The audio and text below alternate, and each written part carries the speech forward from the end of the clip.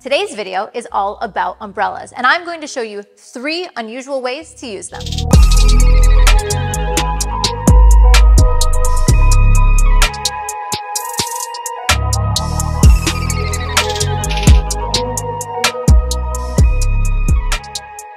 Hey everybody, Lindsay Adler here. And when I first started shooting in the studio, I began with umbrella light modifiers. And because I used these early on in my career, I thought that they were terrible. And that's because my photos using umbrellas were terrible, but that was because I was early on and I didn't understand light. Now today, more than two decades into shooting in the studio, I love umbrellas. I use them for everything. I use them as a main light, a background light, a fill light, you name it. And so today, in this fashion shoot, I wanna show you how I use umbrellas in three different ways.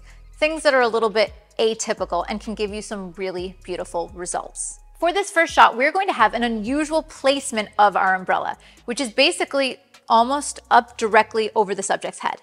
Now, this is not a lighting setup that I invented. In fact, there's a famous fashion photographer named Skrebneski who used this all the time. He has this very famous photo of, uh, I believe it was Diana Ross, where it's an umbrella directly over her head, and he included the umbrella in the shot. And what that does is by having the umbrella so high up, it creates beautiful, raking, dramatic light. Carves out the cheekbones and jawline. It carves out texture and clothing, which is actually why I picked this look for this particular setup. The lighting is going to be perfect to emphasize the texture of this dress. Now you do have some variation with this. In this case, I don't have my light exactly overhead. It's a little to the front and to the side, but if you place it directly over top, you have to be careful of shadows in the eyes. If the subject keeps their head down, basically the entire face is going to be in shadow.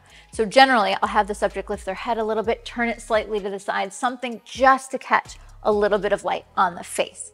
Now, in this case, by moving it slightly forward and just a little bit off to the side, it helps the light wrap a little bit more, which means it's a little bit easier to shoot, but you still have many of those dramatic characteristics. So with that being said, let's take a sample shot. For this image, I am shooting with a Savage Universal fashion gray background. Now, the reason I like this is because I can light the background to make it a little bit higher key image, or I can pull light away to make it lower key. And so in this example, where I angle the umbrella will make a big difference to the end result. Now, I am currently shooting this raw, shooting it in color, but where I think this setup really comes to life, shows the magic, is when you convert to black and white. So Let's go over here into Capture One. I'm shooting tethered and I am going to change this to black and white. Then I'm going to pop my contrast and I'm going to add some clarity. And you can see in the before after just how dramatically it transforms this image. The light on her face glows, it almost sings, and then you can see the contrast and clarity add to the texture of the dress. Notice her chin is slightly up, and so it's catching the beautiful light on her face. Now, so far, she's just kind of standing there, but where the magic of the shot will come to life is in the movement or in the pose. So for this setup, that's it. It is one light overhead for beautiful dramatic results. For this shoot, I'm using a Profoto Pro D3 with a Profoto large deep white umbrella with diffusion, which is basically just a big soft light source. But beyond that, the only other thing you really need to pay attention to is safety. You basically have a big light boomed out overhead. You don't want it to hit your subject or to be unstable. So a couple of quick tips is when you are doing a lighting setup like this, first you want to use a larger base. We're using a medium roller here. But the larger, the more stable it's going to be. And if you're not using a roller like this, you definitely want to use sandbags to make it more stable. You'll also notice that we're using something called a boom arm or a mini boom. That's the arm that is holding it out overhead. In order to make this stable, you'll typically want to add a counterweight something called a pumpkin head or a shot bag.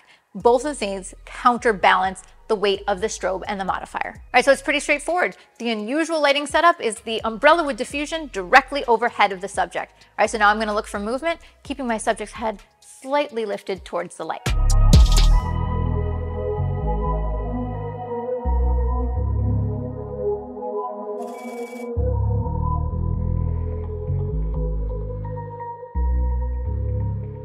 For our second setup, an unusual use of an umbrella, I'm going to modify a typical umbrella.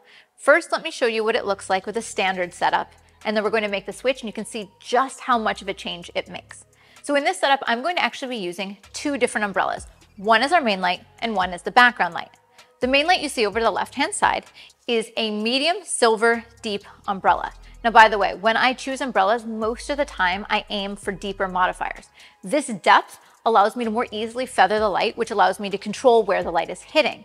This is going to be key when I make that modification. Sometimes a deep umbrella is still not enough to control the spill of light. All right, so let me show you what we're working with with just that first silver umbrella. We have the umbrella placed off to the left-hand side of the frame, which creates nice sculpting on the shadow side of the face.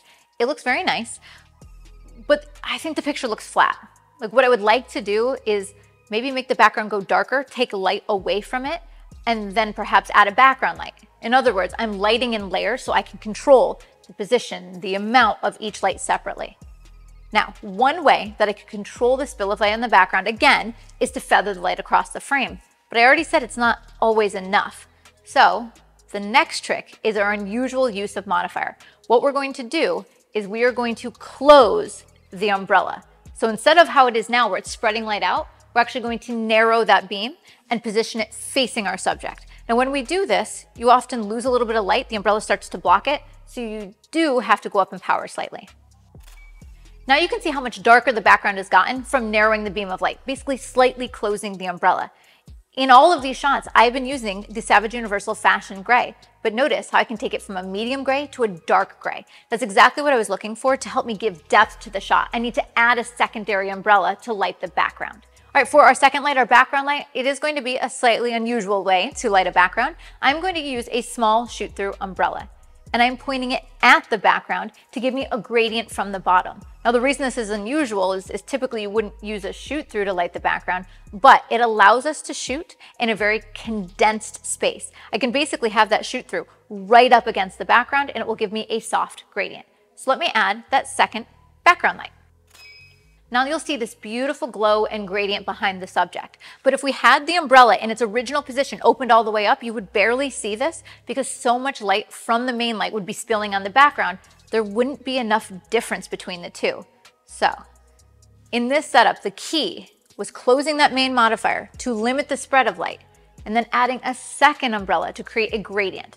Now those are all the umbrellas for this setup, but I do want to add one more modification. We're not introducing another light, but instead a bounce light source. We're going to add a silver bounce reflector on the shadow side of the subject's face just to give her a little bit more separation on her beautiful jawline.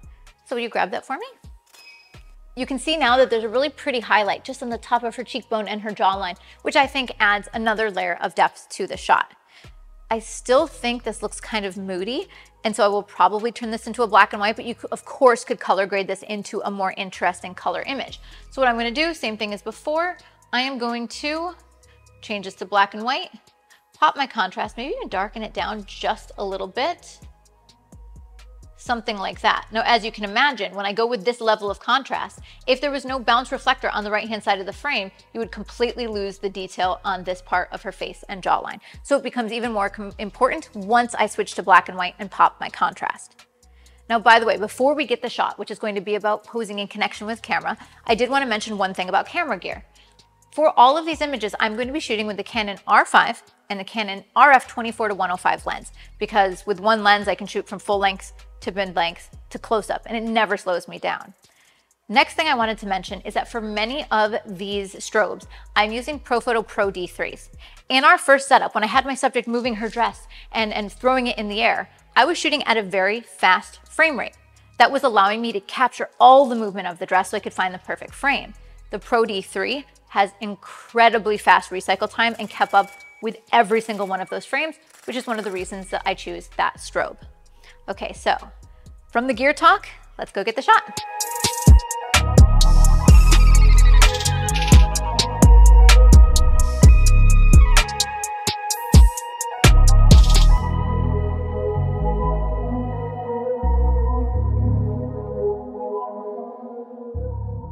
Our last setup, I was inspired by my subject's dress. And what we're going to do is add colors that reflect the colors of that gown.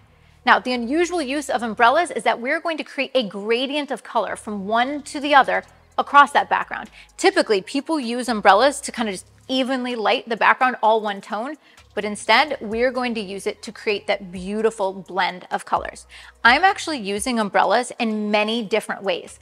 I have them as a background light, a rim light, a fill light, a main light, all of those things in one setup here. So I wanted to show you many different uses of umbrellas in a single set. So I'm gonna turn these all off and build them in one by one. All right, so we're going to begin with our main light, which is the medium silver deep umbrella on the left-hand side of the frame, and it is the same setup as before where it is closed down so we can control the spill of light. If the light were hitting the background, it would actually dilute our color a bit. So we are closing it down so we have more of a concentrated beam. All right, so you can see how this is creating really dramatic light on the face and lots of shadows to the scene, which is going to be really important as we start to add our gel. Okay, so the first color that I wanna introduce to the shot is the top right-hand corner of our background. Again, it's the fashion gray background. We're adding a large umbrella with diffusion, this time with a blue gel. It being placed at such a high angle is going to cause it to rake blue from the top down. You can see that the background is uneven in color now. So it's brightest blue at the top right, and then it fades off to shadow on either side and the bottom. This is very much on purpose because we're going to introduce additional color to the scene. So our next two lights are actually doing two different jobs. They're going to act as rim lights and to create a little color on the background. Now we're actually using two different types of umbrellas. And what I want you to notice is that they create a slightly different quality of light. So over here to the left-hand side of the frame, we are using a large umbrella with diffusion, and this has a green gel. And on the right-hand side of the frame, we're using just a shallow white umbrella, also with a green gel. So on the left-hand side with the diffusion, it's going to create a softer highlight with a little bit more spread. And on the right-hand side, it's going to be a little bit more crisp. So let's add in both of those two rim lights and background lights. So what you can see is the top part of the frame is still blue, but the bottom part of the frame is heavily green. If I wanted to see more of that blue, what I could do is I could go to our large umbrella with diffusion and turn up the power of that light, and it begins to blend in further down with the green. I went up two stops of light. So I quadrupled the power of our blue light and you can see how it starts to overpower the background. So in other words, how I'm controlling how much blue I see or how much green I see is by the power of light and then also the angles that I put them at. I like the green a little bit better, so I'm going to reset that top light and we're going to add our final strobe. So our final light that we're going to add to the scene is to the right-hand side, our final large umbrella with diffusion. This time we have a teal gel, and that is going to fill in all the shadows on the dark side of the face. You can see how these colors now blending together, the teal, the green, the blue, they're all working together to mimic the hues of the dress, which I love. And if I want things to be even cooler, I can shift my white balance to make everything even more blue, or I can play around with my tint. This is a great starting place for color. And then in color grade, I can dial it in to be the mermaid fantasy perfection that I am looking for. All right, so beautiful place to start. But then of course we bring it to life with our pose, our camera angle, and expression.